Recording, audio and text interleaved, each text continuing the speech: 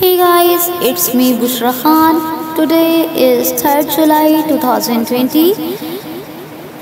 Dear all, don't forget to subscribe UCL, hit the bell icon also. I am requesting to all, I am delivering you most precious content. So please listen this video with carefully, watch till to end. If you like this video, hit like button and after watch full video you have to share whenever you want what you are using social media platform please share on third July का first question सुनिए पहला question है खेल पत्रकारिता दिवस खेल पत्रकारिता दिवस कब मनाया जाता है तो सेकेंड ऑफ़ जुलाई को खेलों में पत्रकारिता का महत्व दर्शाने के लिए मनाया जाता है खेल पत्रकारिता दिवस हर साल दो जुलाई को। ये आपको याद रखना है।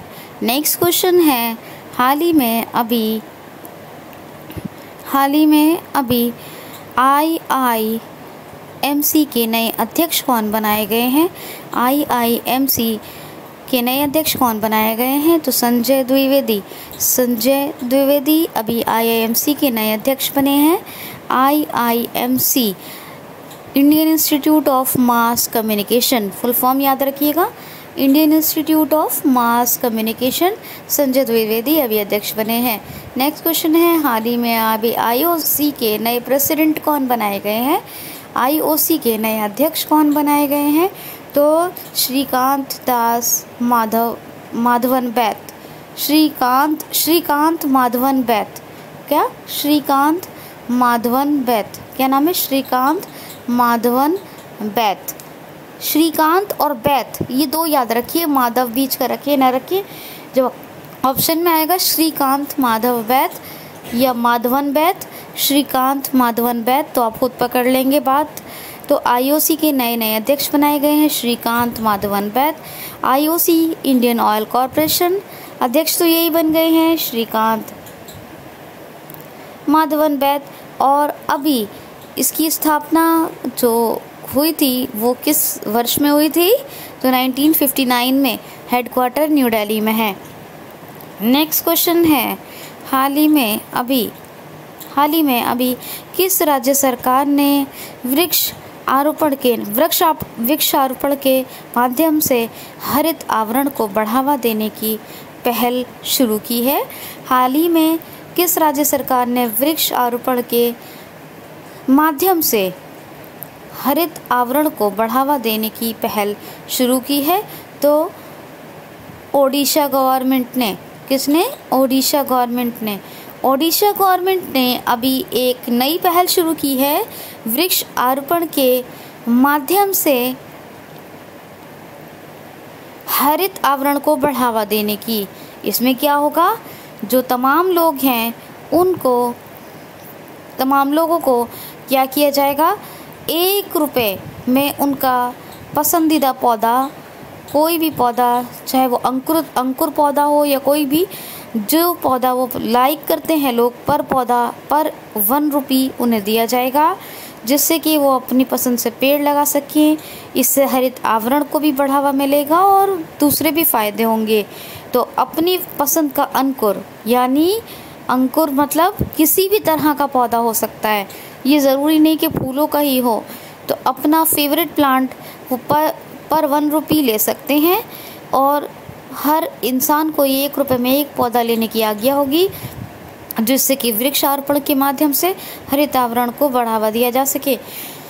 इसका जो नाम है वो याद रखना आपको सबोजा उड़ीसा सबोजा सबोजा उड़ीसा सबोजा उड़ीसा अब ये बात उड़ीसा की है तो मो जीवन और उससे पहले मो, मो, मो जीवन और मो जीवन मो मो जीवन आई थी, मो प्रतिभा से पहले।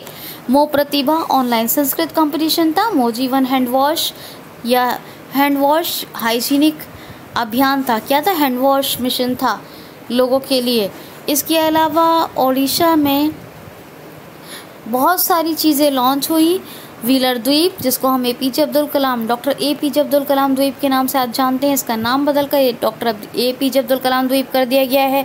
अग्नि फाइव, पृथ्वी टू के सफलतापूर्वक परीक्षण हुए हैं और ओडिशा में सटकोई Satkosia tiger reserve Gahirmatha wildlife sanctuaries Bhitarkanika और सिमलीपाल जैसे टाइगर रिज़र्व हैं। चिल्का झील, जो भारत की सबसे बड़े खाने पानी की, यानी India's largest salted water lake है, चिल्का झील। ये आपको याद रखना है। मोजीवन मो प्रतिभा के अलावा भी मैंने आपको बहुत सारी योजनाएँ बताई हैं। ओडिशा के चीफ मिनिस्टर ने एनिमल्स के लिए lockdown, during the during the lockdown, during the lockdown separate fund launch किया था, जिसके कारण उनको hero to hero to award दिया गया। क्या दिया गया? हीरो टू अवार्ड और ये पेटा ने दिया था। People people ethical for treatment of animal Orissa की कैपिटल है भुवनेश्वर, और Naveen Patnaik chief minister Ganeshi Lal governor याद रखना होगा आपको। नेक्स्ट क्वेश्चन है। हाल ही में अभी विस्टन ने M V P most valuable player India M V P of India most most most valuable player of India किसको चुना है? तो अभी विस्टन ने M V P of India most valuable most कह रही हूँ तो मतलब most most valuable player of India चुना है रविंद्र जडेजा को। किसको? रविंद्र जडेजा। अभी W L C world leading cricket player को चुना गया था। विजडन ने चुना था। उन, वो कौन थे? Ben Stokes. Ben Stokes, world leading cricket, cricketer. World leading world leading cricketer चुने गए थे विजडन की ओर से। कौन थे? वेन स्टॉक। और ये भारत के ट्वेंटी फ़र्स्ट सेंचुरी के most valuable most valuable player के रूप में चुने गए हैं Ravindra Jadeja most valuable player 21वीं सदी के सबसे महत्वपूर्ण खिलाड़ी चुन लिए गए हैं, जिसको हम इंग्लिश में ही याद रखेंगे, इसकी हिंदी नहीं करेंगे, ऐसे ही आएगा ये मोस्ट वैल्यूएबल प्लेयर तो एमवीपी कौन? रविंद्र जडेजा। अब ये विजडन ने चुना है। नेक्स्ट क्वेश्चन है, हाल ही में अभी, हाल ही में अभी आईसीसी के अध्यक्ष का अतिरिक्त प्रभार किसको सौंप दिया गया है? हाल ही में आईसीसी के प्रेसिडेंट का एडिशनल चार्ज किसको हैंड ओवर कर दिया गया है? तो इमरान ख्वाजा को। इमरान ख्वाजा को अभी आईसीसी अतिरिक्त प्रभार के रूप में मिला है। अतिरिक्त प्रभार हो गया है इमरान ख्वाजा पे। अभी सो मिल गया है additional as a additional charge ICC ICC के अध्यक्ष हुआ करते थे कौन? कौन हुआ करते थे? मनु सहानी सीईओ थे, हमेशा बताया, और सुशांक मनोहर चेयरपर्सन यानी प्रेसिडेंट थे। सुशांक मनोहर ने अभी इस्तीफा दे दिया। इस्तीफा दे दिया है सुशांक मनोहर ने तो अब सुशांक मनोहर की सीट खाली हो गई। अब आईसीसी को अध्यक्ष की ज़रूरत थी तो नए प्रेसिडेंट का अतिरिक्त जो प्रभार है जो आईसीसी के नए अध्यक्ष का एडिशनल चार्ज है, वो इमरान ख्वाजा को सौंप सौंप दिया गया है हैंडओवर कर दिया गया है। आईसीसी आईसीसी की फुल फॉर्म है इंटरनेशनल क्रिकेट काउंसिल और 1904 में स्थापना हुई। हेडक्वार्टर है दुबई में। अभी सीईओ हैं मनु सहानी। चेयरपर्सन यानी प्रेसिडेंट हैं कौन? इमरान ख्वाजा पर ये इनको एडिशनल चार्ज मिला है। आपको ये याद रखना होगा। नेक्स्ट क्वेश्चन है, हाल ही में अभी ई किसान धन ई किसान धन ऐप किस किस बैंक की पेशकश है? हाल ही में ई किसान धन ऐप किस बैंक की लॉन्चिंग है? हाल ही में अभी किस बैंक ने ई किसान धन को लॉन्च किया है? तो एच डी एफ़ सी किसानों को कृषि तमाम सुविधाएँ प्रदान करने के लिए और साथ ही बैंकिंग सुविधाएँ, यानी फैसिलिटी बैंकिंग और agriculture both facilities both services को एक साथ यूज़ कर सकें। इसी उद्देश्य से बना दिया गया है। अभी कौन सा? ई किसान धन ऐप। क्या बनाया गया? ई किसान धन ऐप। और ये किसने बनाया है? तो ये शुरू किया है, ये पेशकश है, ये लॉन्चिंग है H D F C bank की। H D F C bank H D F C bank 1994 में इस्टेब्लिशमेंट हुआ। और आपको मुझे बताना है कि सीईओ e कौन है? तो सीईओ e वैसे कौन है? आदित्य पुरी है क्या? है या नहीं? कमेंट बॉक्स में बताइए। Aditya Puri H D F C के सीईओ e हैं या नहीं? और हेडक्वार्टर ओवेसली इन मुंबई ठीक है? तो ज़रूर बताइएगा मुझे। क्वेश्चन सुनिए। हाल ही में अभी किसको हाल ही में अभी किस राज्य सरकार ने ई ग्रंथालय का शुभारंभ किया है? हाल ही में किस स्टेट के चीफ मिनिस्टर ने ई ग्रंथालय का शुभारंभ किया है? किस स्टेट चीफ मिनिस्टर ने ई ग्रंथालय इनिशिएटिव लिया है या ई ग्रंथालय लॉन्च किया है। तो actually e Granthalaya is one initiative तो that's why I am saying initiative तो ई ग्रंथालय, ये अभी उत्तराखंड उत्तराखंड के चीफ मिनिस्टर ने शुरू किया है। इंद्र, वो सॉरी उत्तराखंड उत्तराखंड के चीफ मिनिस्टर ने शुरू किया है। क्या? ई ग्रंथालय ई ग्रंथालय ई ग्रंथालय क्या? ग्रंथ से समझ रहे होंगे आप? आले भी समझ में आ रहा होगा। ई भी समझ में आ रहा होगा। फिर भी कुल मिला के क्या है? तो कुल मिला के जितने भी गवर्नमेंट लाइब्रेरीज हैं जितने भी यूनिवर्सिटीज़ की लाइब्रेरी हैं, कॉलेज की लाइब्रेरी हैं, जितने भी गवर्नमेंट बुक मतलब जितने भी गवर्नमेंट की बुक लाइब्रेरीज़ हैं, चाहे वो कॉलेज की हैं, यूनिवर्सिटी की है, यूनिवर्सिटीज़ की हैं, तमाम को जोड़ करके एक बना दिया जाए। जिससे कि पढ़ने वाले तमाम छात्रों और लोगों को एक ही जगह पर सारी किताबें आराम से उपलब्ध कराई जा सके। समझ में आ गई बात? तमाम यूनिवर्सिटीज़ को कॉलेजेस को और जितनी भी लाइब्रेरीज़ हैं, सबको एक साथ जोड़ दिया जा रहा है, जिसको कुल मिलाकर एक बना, बड़ा सा लाइब्रेरी बनाया जा रहा है, जिसका मतलब क्या हो गया? ई ग्रंथालय। जोड़ दिया तो ऑनलाइन है। जोड़ा गया तो ऑनलाइन है। बनाने का मतलब सारे कॉलेजेस यूनिवर्सिटीज़ और जो भी और अदर लाइब्रेरीज़ है गवर्नमेंट्स की, उन सबको एक साथ जोड़कर एक ऑनलाइन प्लेटफॉर्म बना दिया ई ग्रंथालय, जिससे कि स्टूडेंट्स को, जिससे कि तमाम बुक्स फॉलोअर्स यानी पीपल्स को, तमाम सॉरी पीपल्स नहीं पीपल को, तमाम पीपल को बिल्कुल इजीली सारी बुक्स, सारा बुक कंटेंट अवेलेबल एक ही जगह on at one place on one time हो सके। एक ही बार में और एक ही जगह पर मिल सके। तो यही है ई ग्रंथालय। उत्तराखंड। उत्तराखंड ने अभी गैर सेंट को समर कैपिटल बनाया है, हालाँकि देहरादून ऑफिशियल कैपिटल है। उत्तराखंड ने पिथौरागढ़ में अभी लाइकेन पार्क बनाया है। क्या बन रहा है? पिथौरागढ़ में लाइकेन पार्क, यानी कवक उद्यान, कवक पार्क, जो एनवायरनमेंट को सेफ़ रखने में हेल्प करते हैं। हाल ही में, ओ सॉरी क्वेश्चन अभी लेंगे। अभी सुनिए, उत्तराखंड की बात करें, जब मैं फ्लो में बोलती हूँ तो ना मुझे कुछ आगे दिखता है, ना पीछे दिखता है। मुझे सिर्फ़ एक ही मेरा टारगेट होता है I have to teach you I have to teach I have to teach and I am giving and I give you best my best यही मेरा ऑब्जेक्टिव होता है।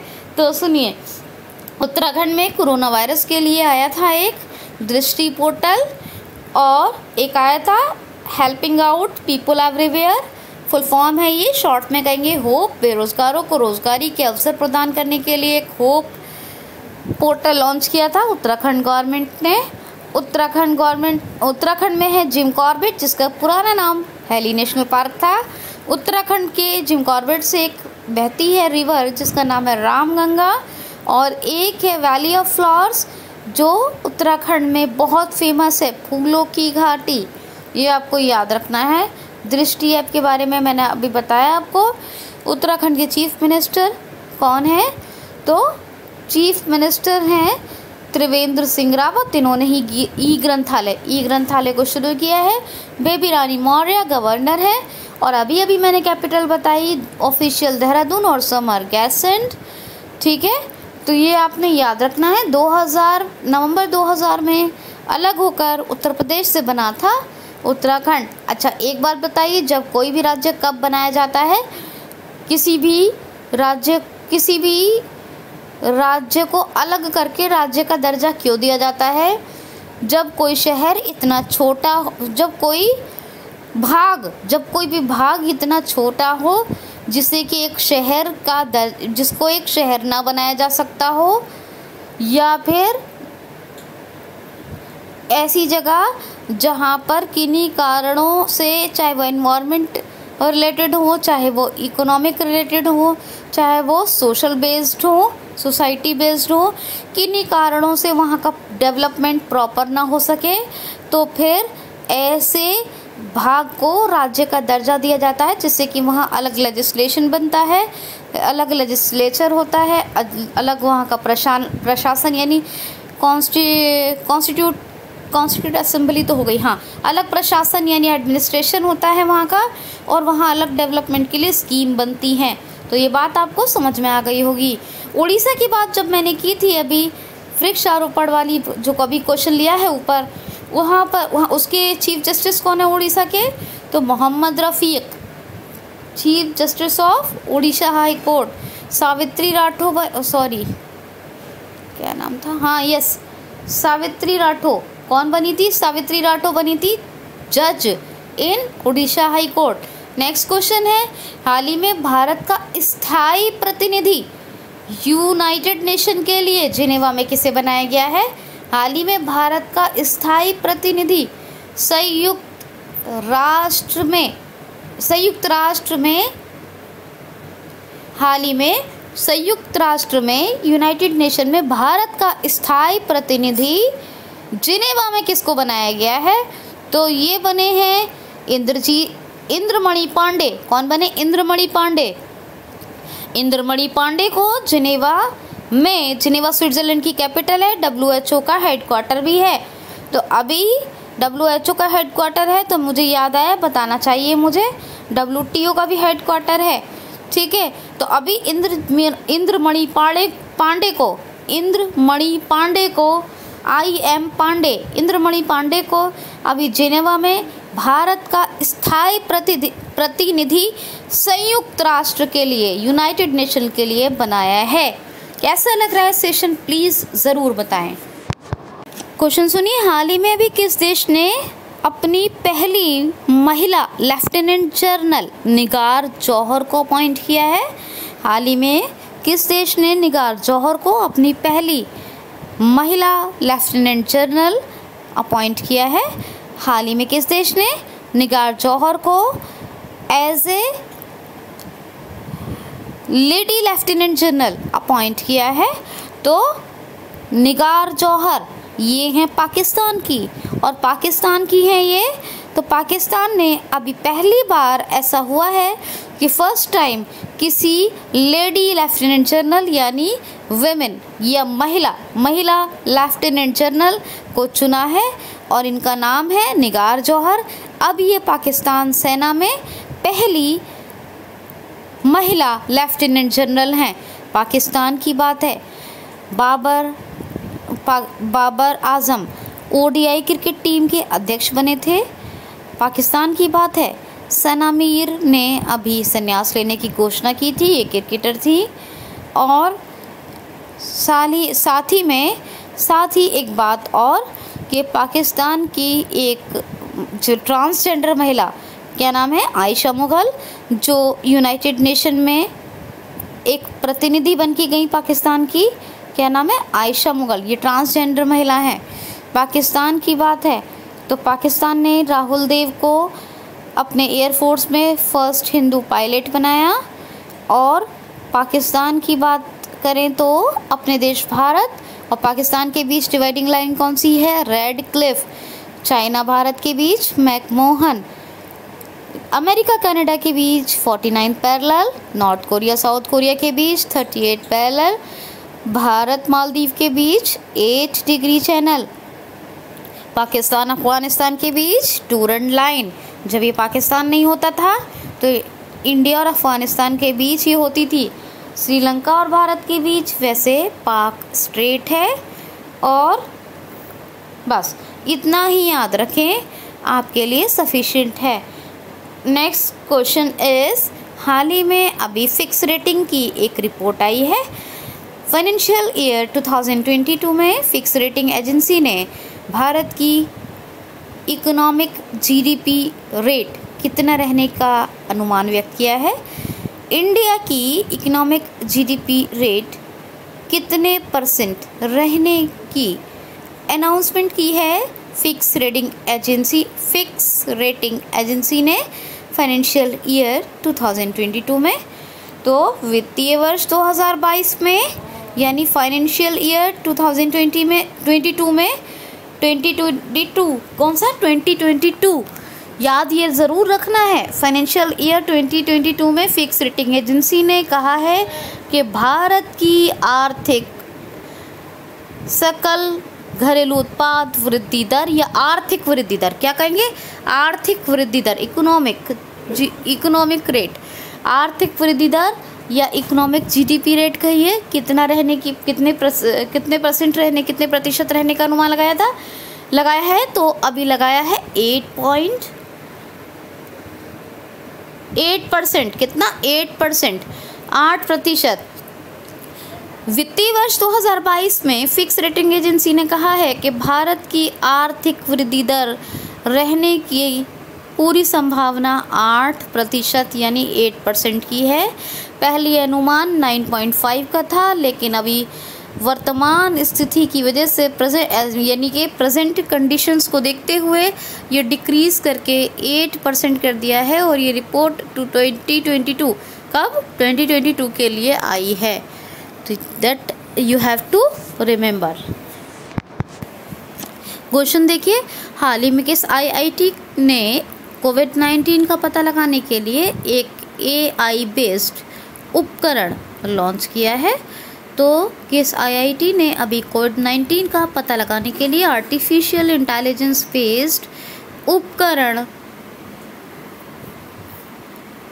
लॉन्च किया है? तो आईआईटी गांधीनगर ने आईआईटी गांधीनगर ने एक ऐसा उपकरण, एक ऐसा स्कोप बनाया है, जिससे कि एक ऐसा इंस्ट्रूमेंट एक ऐसा स्कोप बनाया है, एक ऐसी टेक्नोलॉजी डेवलप की है जो आर्टिफिशियल इंटेलिजेंस बेस्ड तो है और साथ ही ये एक्सरे इमेज की तरह काम करेगी, जिससे चेस्ट का एक्सरे इमेज लिया जाएगा और जिससे ये पता लगा लिया जाएगा सफलतापूर्वक कि कोविड नाइन्टीन कहाँ है। तो ये एक एक्सरे इमेज की तरह है जो चेस्ट के लिए है आर्टिफिशियल इंटेलिजेंस बेस्ड है और इसे कोविड नाइन्टीन का पता लगाने के लिए। ये उपकरण है एक, ठीक है? इसको यूज़ किया जाएगा और ये आईआईटी गांधीनगर की लॉन्चिंग है। नेक्स्ट क्वेश्चन है, हाल ही में अभी। हम्म। Okay, next one. क्वेश्चन सुनिए ध्यान से। हाल ही में अभी किस क्षेत्र को छः महीने की अवधि के लिए अशांत क्षेत्र घोषित कर दिया गया है? किस एरिया को, किस रीजन को सिक्स मंथ ड्यूरेशन इस सिक्स मंथ पीरियड के लिए एक अशांत क्षेत्र घोषित कर दिया है। तो नागालैंड को, नागालैंड भी एक शांत क्षेत्र था, लेकिन अभी इसको पूरी की पूरी छः महीने की अवधि के लिए अशांत क्षेत्र घोषित कर दिया गया है। नागालैंड की कैपिटल कोहिमा है आर एन रवि गवर्नर हैं और नेफ्यूरियो चीफ मिनिस्टर हैं। नागालैंड में एक फेस्टिवल मनाया जाता है जिसका नाम है हॉर्नवेल फेस्टिवल। लेकिन अरुणाचल प्रदेश में भी एक ऐसे ही फेस्टिवल है, लेकिन वो हॉर्नवेल नहीं है, वो है पक्के पागा हॉर्नवेल फेस्टिवल। और ये जो नागालैंड में मनाया जाता है, ये क्या है? ये हॉर्नवेल फेस्टिवल। ये आपको याद रखना है। नेक्स्ट क्वेश्चन है, हाल ही में मत्स्य पालन पर पहला संस्करण, मत्स्य संपदा पहला संस्करण किसने लॉन्च किया है? हाल ही में मत्स्य पालन पर, मत्स्य संस्करण, मत्स्य संपदा पहला संस्करण, मत्स्य संपदा पर पहला संस्करण किसने लॉन्च किया है? तो गिरिराज सिंह ने। दोबारा क्वेश्चन सुनिए। मत्स्य पालन के लिए मत्स्य संपदा, यानी कैसे मछुआरे मछलियों को पालन पोषण करेंगे? कैसे पाल, पालेंगे? तो मत्स्य पालन के लिए मत्स्य संपदा पर पहला संस्करण लॉन्च कर दिया है। गिरिराज सिंह ने, गिरिराज सिंह, हमारे प्रेजेंट टाइम पर डेयरी, पशुपालन एवं मत्स्य मंत्री हैं। कौन? गिरिराज सिंह। और इन्होंने ही मत्स्य संपदा पर पहला संस्करण लॉन्च कर दिया है। तो ये आपको याद रखना है। और एक लास्ट क्वेश्चन सुनिए। हाल ही में अभी रविंद्र भाकर किसके नए सीईओ बने हैं? हाल ही में अभी रविंद्र भाकर को किसका नया सीईओ अपॉइंट किया गया है? तो सीबीएफसी का। CBFC central board of film certification 1951 में इसकी स्थापना हुई थी। क्या? Central board of film certification तो CBFC central board of film certification 1951 में इस्टेब्लिशमेंट हुआ। और अभी इसके जो प्रेसिडेंट हैं, वो कौन है? प्रसून जोशी। प्रसून जोशी प्रेसिडेंट है और नए सीईओ बन गए हैं। अभी नई नई उनकी पोस्टिंग होगी। क्या? क्या? कौन अपॉइंट हुए हैं? नया नया सिलेक्शन है? तो रविंद्र भाकर, याद रखना है आपको। आप दोस्तों कमेंट बॉक्स में बताना है आपको कैसा लगा वीडियो प्लीज़ वीडियो को लाइक और शेयर दोनों करें। कल करंट अफेयर सेशन नहीं होगा। संडे में दोनों दिन का होगा। सैटरडे और संडे का संडे को होगा। कल हम लाइव कंप्यूटर के या इंग्लिश के वीडियो में हम आपसे मिलेंगे। तब तक आप अपना ख्याल रखें, कमेंट करके ज़रूर बताएँ। मेरी रिक्वेस्ट है आपसे बहुत ज़्यादा प्यारे प्यारे से सारे लोग कमेंट किया करें, लाइक, शेयर ज़रूर किया करें और आप लोगों से हाथ छोड़कर रिक्वेस्ट है, वीडियो को कंप्लीट वॉच करें और चैनल को सब्सक्राइब करें। Take care of yourself keep smiling, thanks for watching.